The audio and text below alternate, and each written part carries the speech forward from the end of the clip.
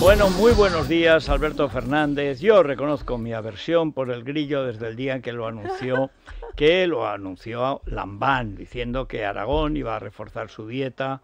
Y lo anunció en Olviden ustedes parece. a Lambán, ¿vale? Y yo estoy aquí en una labor de... Yo, Bueno, ahora ya ha caído Lambán, Federico, la verdad. Pero Sotillo somos los grillos. Isabel y Federico. Bueno, llaman el los grillo, grillos. grillo es uno de los de los apellidos de mi parentela eh, en Orihuela, es muy popular. Y el, el- no familia directa mía, pero el que me cortaba a mí el pelo de niño era el tío grillo. Sí. Bueno, yo, ¿os acordáis de la enfrente de película Los. Blues Brothers? Que decía, we're in a mission from God. Estamos en una Sí, misión de sí, Dios. Pues sí, yo pues- también con los insectos estoy en una Sí, mission from God. sí. Voy a leer un párrafo, ¿vale? Y luego os digo el año en que se publicó esto. ¿vale? Al iniciar este trabajo, soy plenamente consciente de la dificultad de luchar contra un prejuicio público arraigado desde hace mucho tiempo. Solo pido a mis lectores una audiencia imparcial, una consideración imparcial de mis argumentos y un juicio imparcial. Si me otorgan estos, estoy seguro de que muchos serán persuadidos a hacer una prueba práctica de la conveniencia de usar insectos como alimento. Hay insectos e insectos. Mis insectos comen solo vegetales, son limpios, apetecibles, sanos y decididamente más particulares en su alimentación que nosotros mismos.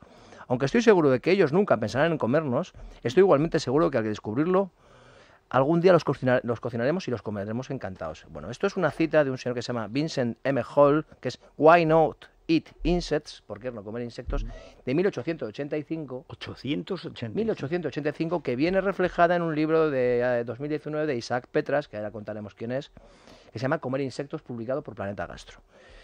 Hay que decir que en muchos lugares la entomofagia, que es el acto de comer insectos, forma parte de la vida diaria, es algo tanto común como el pan, el aceite de oliva, el vino o el jamón para nosotros.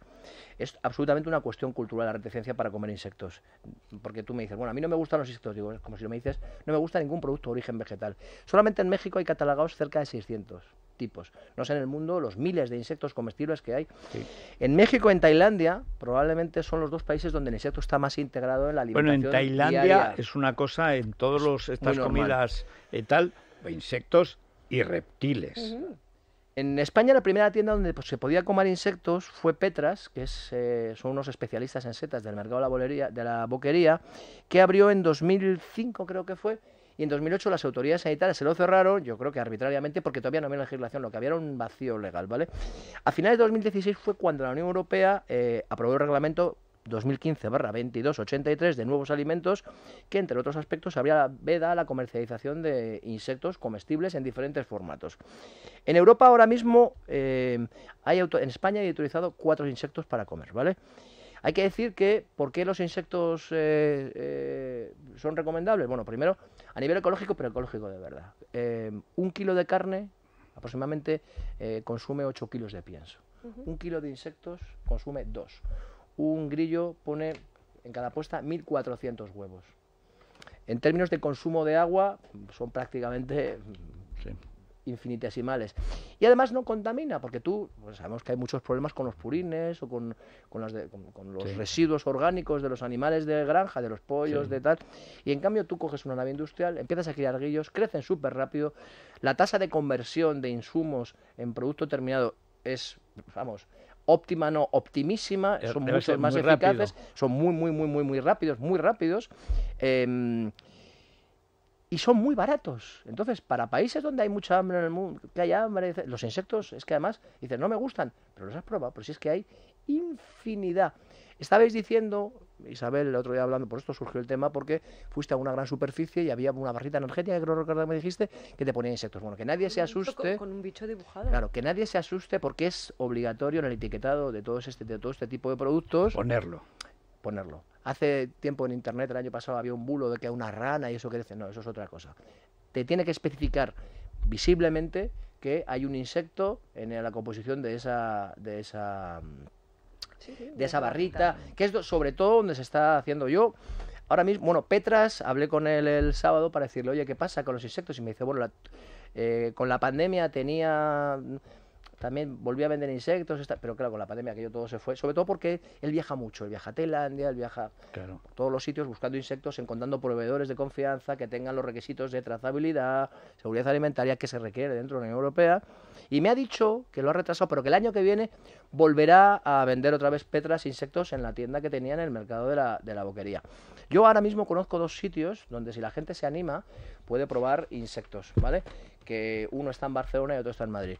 El de Madrid es Bacán, que es un restaurante mexicano en la Plaza de Independencia, que yo no he estado, eh, no por nada, no tengo nada ni a favor ni en contra, soy totalmente neutral aquí en huella de carbono, no he pasado por allí, nada. mi huella de carbono no, no ha Es en más, ese la huella de carbono no existe. Claro, Y por eso yo no he algunos que dicen, analizamos tu huella de carbono, mientes bellaco y tú lo sabes. Mi huella de carbono y la de Xi Jinping son indiferentes para la atmósfera. La huella de sangre ya es otra cosa. La huella de, sangre que la, tiene Xi Jinping, yo no. Jinping, sí, Pero eh, la huella de carbono es una memez decir que alguien tiene huella de carbono.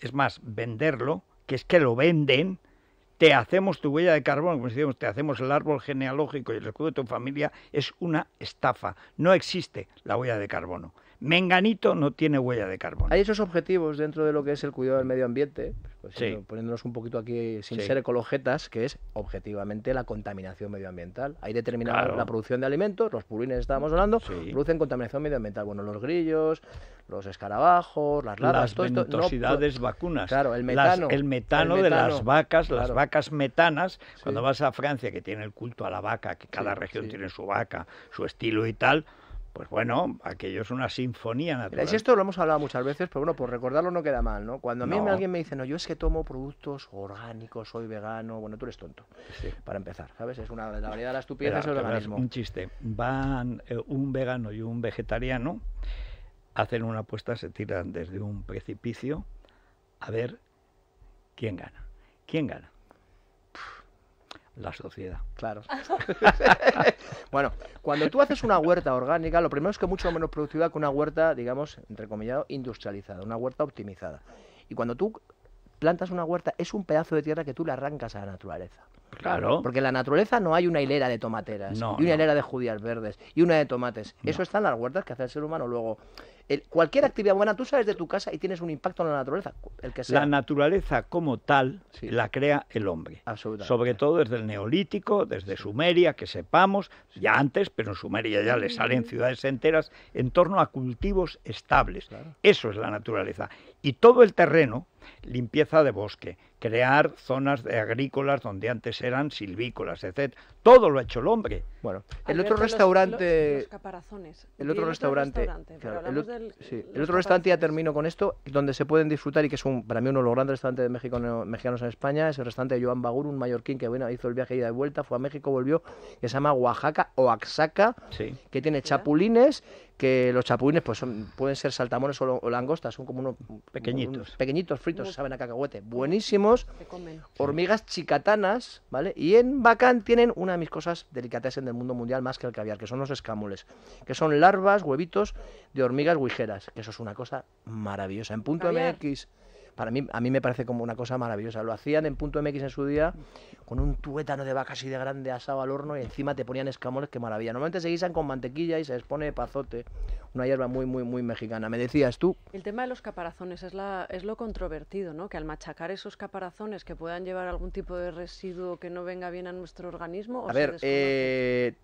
depende de qué insecto de los comestibles que hay. Hay algunos que por ese caparazón porque tienen queratina. tiene- tiene- a gente que tenga eh, alergia a los ácaros mm, y, y así. Claro, la queratina no es... claro, pero también vamos a lo mismo. El etiquetado obligatorio en cualquier Claro. alimento en España incluye la presencia de alérgenos. En los restaurantes tenemos una carta de alérgenos. Tú tienes alergia a algo, vas a mi restaurante, a los estudianos, donde está Doña Julia, y hay una carta que me dicen, oye, yo es que tengo alergia. Y dije, "Ch, Un momento. Le das una carta en la que cada plato especifica aquellos ingredientes, igual que el gluten.